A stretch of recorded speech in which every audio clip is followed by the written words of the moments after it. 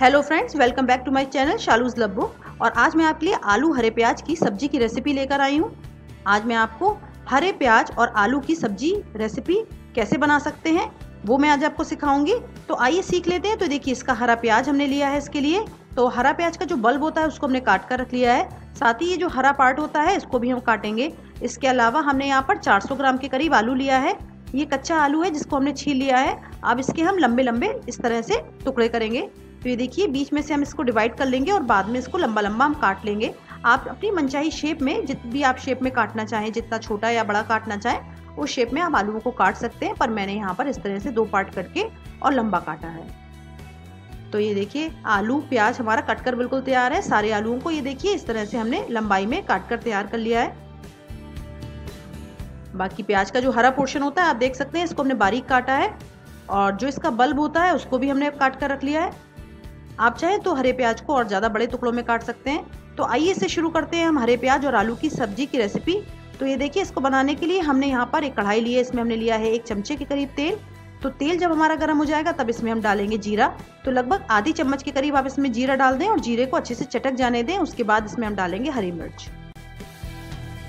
तो ये देखिए फ्रेंड इस तरह से हम इसमें दो से तीन हरी मिर्च डालेंगे। हरी मिर्च को हमने बारीक काट लिया है। आप चाहें तो इसमें सूखी हुई लाल मिर्च भी तोड़कर डाल सकते हैं। तो हरी मिर्च को अच्छे से आप भुन जाने दें। इस काम को हमें मीडियम से हाई फ्लेम के बीच में करना है। तो हरे प्याज आलू की सब्ज़ी है तो ऑब्वियसली इसमें प्याज तो हम बाद में डालेंगे ही, इसलिए इसमें हम अभी प्याज नहीं डालेंगे। सबसे पहले जो आलू है, जिसको हमने लंबा काटा था, इसको हम अच्छे से फ्राई कर लेंगे। तो लगभग दो से तीन मिनट तक हम इन आलूओं को मीडियम से हाई हीट के बीच में फ्राई करेंगे, ताकि जो आलू है, अच्छे से सीख जाए।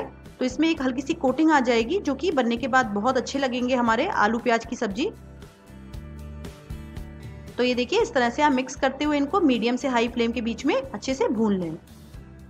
थोड़ा सा अगर आप इसको भून लेंगे तो जो सब्ज़ी का टेस्ट है, वो और भी ज़्यादा अच्छा आएगा। और चाहे तो आप प्याज और आलू एक साथ डाल सकते हैं और इनको बिल्कुल स्लो फ्लेम करके आप चढ़ा दें। नमक डाल दें इसमें, हल्दी डाल दें, धनिया पाउडर डाल दें और बस इसको बिल्कुल गलने तक पका लें तो आपकी सब्ज़ी रेडी हो जाएगी। पर अभी हम इसको इस तरह से नहीं बनाएँगे, हम इसको थोड़ा सा भूनेंगे और उसके बाद इसको बनाएँगे।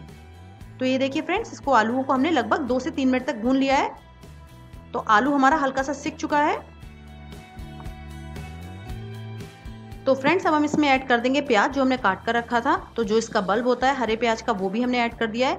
साथ ही जो ग्रीन पार्ट होता है, वो भी हमने ऐड कर दिया है। अब सारी चीज़ों को अच्छे से आलूओं के साथ मिक्स कर लेंगे।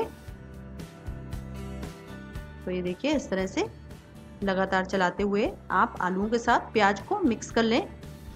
अब आलू और प्याज अच्छे से मिक्स हो चुके हैं तो अब इसमें हम ऐड करेंगे टेस्ट के अकॉर्डिंग सॉल्ट। तो इसमें हम नमक ऐड कर देंगे। तो लगभग एक चम्मच के करीब मैं इसमें नमक ऐड कर रही हूँ। तो जितना भी आपने क्वांटिटी ली है, आलू और प्याज की, उस हिसाब से आप इसमें नमक ऐड कर दें। साथ ही हम इसमें ऐड करेंगे थोड़ी सी हल्दी पाउडर। इससे बहुत अच्छा कलर आएगा हमारी सब्ज़ी का। आपको ध्यान इस बात का रखना है कि हल्दी बहुत ज़्यादा ऐड नहीं करनी है। आप देख सकते हैं, एक चौथाई चम्मच के करीब ही मैंने इसमें हल्दी ऐड की है। साथ ही हम इसमें थोड़ा सा धनिया पाउडर डालेंगे। तो आधी चम्मच आप इसमें धनिया पाउडर डाल दें। इन सारी चीज़ों से बहुत अच्छा टेस्ट आएगा। मिक्स कर लें आप सारी चीज़ों को। तो ये देखिए, मसालों को हमने अच्छे से सब्जियों के साथ मिक्स कर लिया है। अब आप फ्लेम को बिल्कुल स्लो कर दें और 10 मिनट तक इसको पका लें ढककर। तो ये देखिए, ढककर हमने सब्ज़ी को पका लिया है। हमारे जो आलू हैं, बहुत अच्छे से गल चुके हैं। सब्ज़ी हमारी ऑलमोस्ट तैयार है।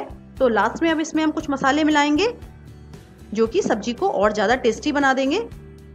तो ये देखिए, इसको एक बार हम मिक्स कर लेते हैं। तो ये देखिए, हमने इसको अच्छे से मिक्स कर लिया है। अब इसमें हम डालेंगे रेड चिली पाउडर यानी कि लाल मिर्च का पाउडर तो आप अपने टेस्ट के अकॉर्डिंग डालें। मैंने यहाँ पर आधी चम्मच डाल रही हूँ, अपने टेस्ट के अकॉर्डिंग इसमें ऐड कर रही हूँ। साथ ही हम इसमें डालेंगे लगभग एक चौथाई चम्मच के करीब गर्म मसाला पाउडर तो आप चाहें तो गर्म मसाले की क्वांटिटी बढ़ा भी सकते हैं। साथ ही हम इसमें एक चौथाई चम्मच के करीब ही डालेंगे अमचूर पाउडर यानी कि खटाई। तो मैंगो पाउडर हमने इसमें लास्ट में ऐड कर दिया जो बहुत अच्छी खटास देगा। सारे मसालों को आप अच्छे से मिक्स कर लें सब्ज़ी के साथ। और बस, हमारी जो आलू, हरे प्याज की सब्ज़ी है, ये बनकर बिल्कुल रेडी है। आप भी अपने घर में मेरी ये आलू, हरे प्याज की सब्ज़ी की रेसिपी ज़रूर ट्राई करें। अगर आपको मेरी ये सब्ज़ी पसंद आए तो आप प्लीज़ लाइक का बटन दबाएँ और मेरी इस रेसिपी को अपने फ्रेंड्स और फैमिली के साथ शेयर करें।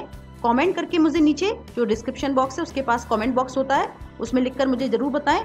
कि आपको मेरी ये सब्ज़ी कैसी लगी? अगर आपको मेरी ये हरे प्याज, आलू की सब्ज़ी की रेसिपी पसंद आए तो मुझे लाइक करें सब्सक्राइब करें और कमेंट करके बताएँ। मेरे चैनल को सब्सक्राइब करना ना भूलें। Thank you for watching this recipe फिर मिलती हूँ नई रेसिपी के साथ। बाय